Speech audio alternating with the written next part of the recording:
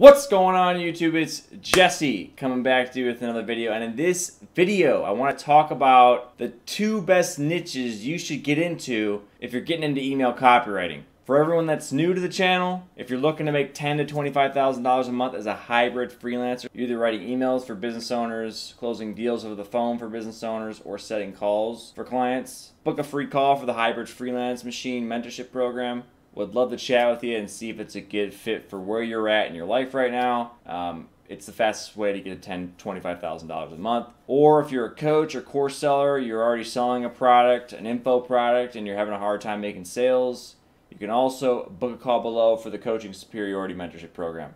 Make sure to get into the free Facebook group below where I do live calls as well as dump a lot of free content in there for you to look at and learn from and you can join the community in the conversation. So, what are the two best niches to get into right now? Well, first off, there's a ton of them, and all the niches are fair game. I'm personally willing to write for any niche as long as they pay me good, right? I'm not picky like that. I'm not going to go in there, but I'm not working with them because I don't like the product. No, if they have the money to pay me, I'm going to do the niche.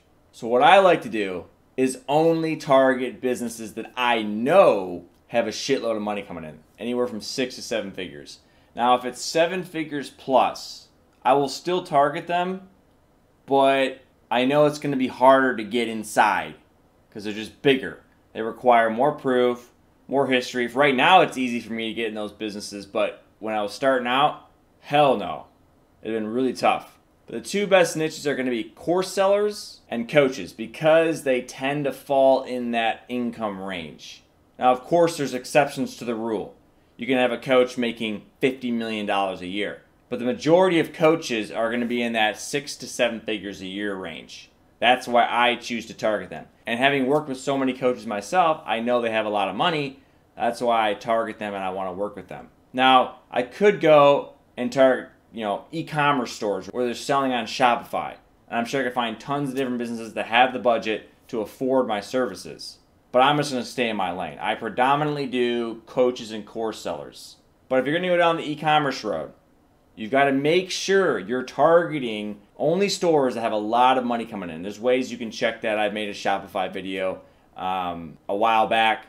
There's a software tool, I can't remember the name of it off the top of my head, but you can use that software tool. It's in the Shopify video on how to write emails for Shopify store owners. But you have to understand when you're doing Shopify stuff, a lot of stores are not going to be making a lot of money. You, you might find a store selling a cool ass product.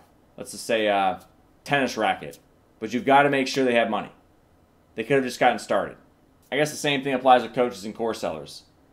You're not going to want to write emails for a coach that just started and they're broke.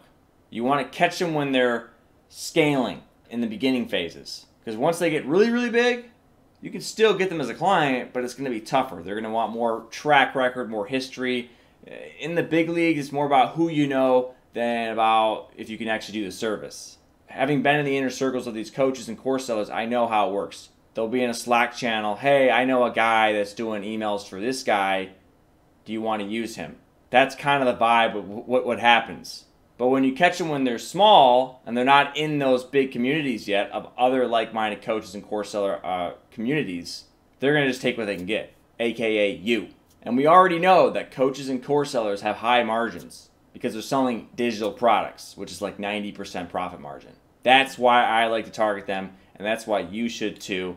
Now, if you'd like to learn the best way to target them, how to cold email them with four separate sequences, the exact templates to use, the exact contracts to use, the exact you know email rate and sequence of emails and all the templates, everything, and get hand holding support, that's all inside the Hybrid Freelance Machine program The book call if that interests you. Also, make sure to join the free Facebook groups below. Subscribe, hit the bell notification so you don't miss any of my future videos. Peace.